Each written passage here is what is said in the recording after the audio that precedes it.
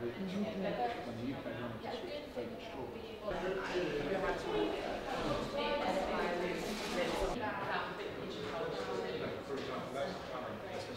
The speed with which we're trying to move things, we know that perhaps we're going to market with imperfect solutions.